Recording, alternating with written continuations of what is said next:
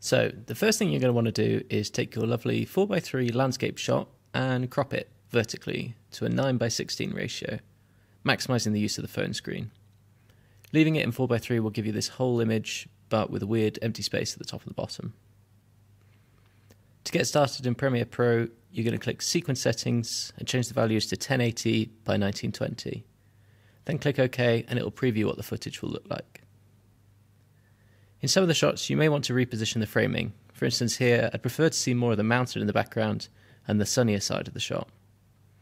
For other things like time lapses, you may want to keyframe the video to scan across from one side to the other, and in more complex shots with a moving subject, you may need to get creative. Premiere Pro 2020 has this auto reframe feature that you can try. So you're happy with your sequence, and now you're ready to export, so head over to File, Export, Media. The settings I use are as follows format should be H.264. Under the Videos tab, we're going to uncheck the box and just make sure that it's 1080 by 920.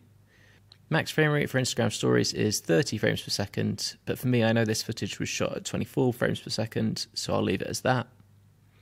Click render at maximum depth and then scroll down to bitrate settings. This is where opinions vary somewhat. I go for VBR 2 pass set my target bitrate to 3.5 and max to 4. If this seems really low, it's because it is. Because of how Instagram and Facebook are optimized for being used on the go over mobile networks, a lower bitrate cap means faster loading videos.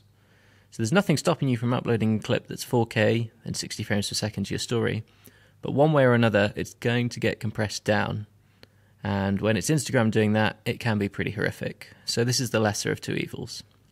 As a bonus tip, one thing that you can do to mitigate this slightly is create an adjustment layer, drag it onto your clips. Here you can bump up the sharpness of your video just slightly to compensate a bit for the reduced quality, making everything look a little bit fuzzy. That's all for today. Hope you guys enjoyed, and I'll catch you next week.